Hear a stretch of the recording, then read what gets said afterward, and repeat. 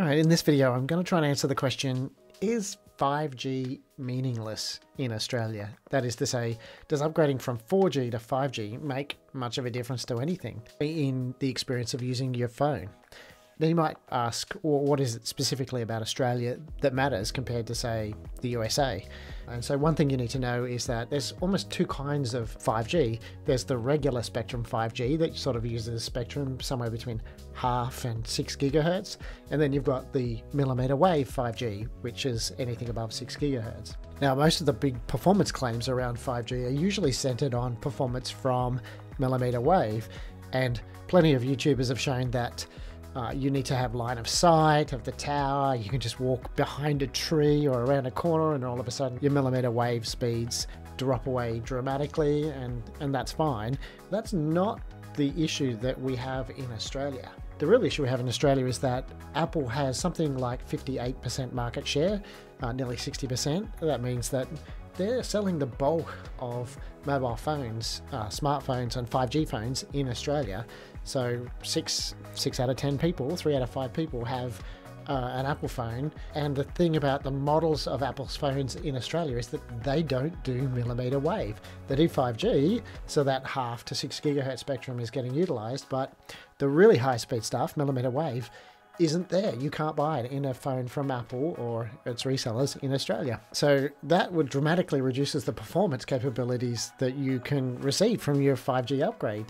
Uh, so let's find out how much of a performance improvement you actually get from upgrading from a 4G iPhone to a 5G iPhone. So to test that, I've got an iPhone 11 here, an iPhone 11 Pro Max, and I've got an iPhone 13 Pro Max. I did a couple of tests. The first test I'm going to do is go to the local Telstra telephone exchange because I wanted to find a location that has the absolute best performance you can get.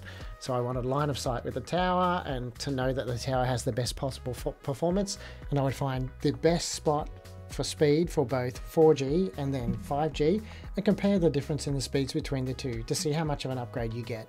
So after quite a few tests, I found a spot, uh, the fastest spot for both 4G and it turned out 5G was this location right here, halfway uh, across the road. Don't worry, it's quite safe, but it's on this island in the middle of the road with line of sight to what looks like this aerial here.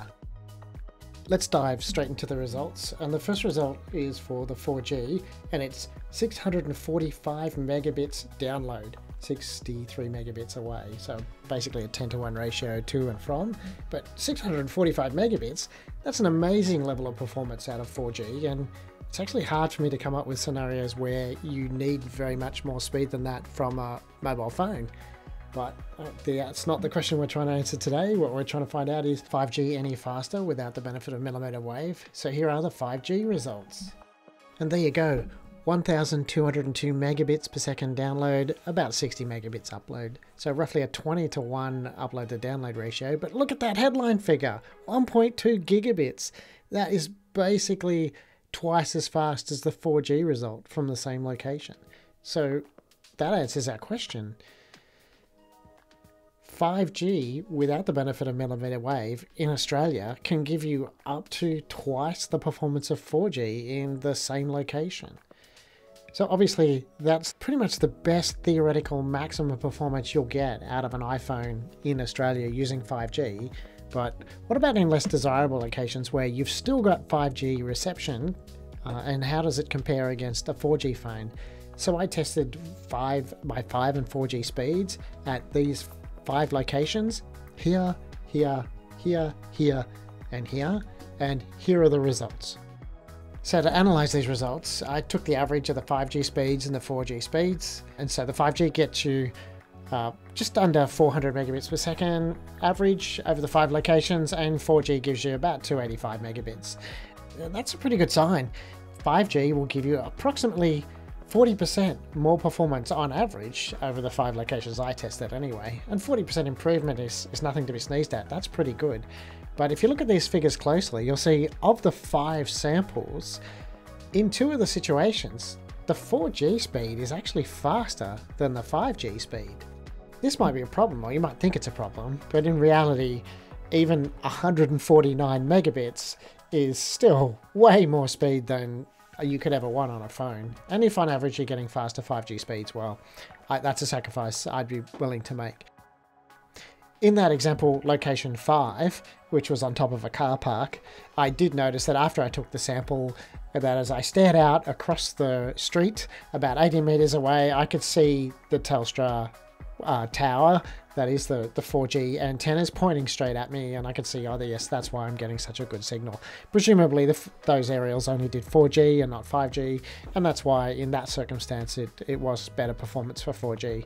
The other circumstance, circumstance 2, I think I was only getting about three bars of 5G compared to, yes, four, four bars for 4G, and so there's a little bit more performance. And in fact, uh, the phone did jump back and forth between 4 and 5G at location 2. To sum up, it's a bit of a, a mixed bag. Generally speaking, 5G is faster, um, 40% faster on average, and, and, in some circumstances, nearly twice as fast in, in absolutely ideal circumstances. So, yes, 5G is definitely a technology upgrade that's worthwhile doing. Uh, and I guess it's going to happen no matter what. Eventually, you'll replace your phone, and eventually, that phone will be a 5G phone. You won't get a choice in it. Um, but generally speaking, it's a good upgrade. As far as millimeter wave goes, uh, there's it's a bit disappointing that Australia misses out. Um, but given that the maximum speed you'll get when you basically have line of sight for the towers, and when you have line of sight for the towers, I can get 1.2 gigabits on 5G it doesn't feel like I'm really missing out on much, given that it's far, it's very hard to find use cases for for a mobile phone using 1.5 gigabits anyway. Alright, I hopefully you enjoyed this uh, video. I enjoyed making it, so if you liked it, please please give me a like. And uh, if you've got anything to comment I definitely want to have a discussion about this to find out what other people's opinions are. So please make a comment below. Alright, thanks very much for watching. I'll see you in the next video.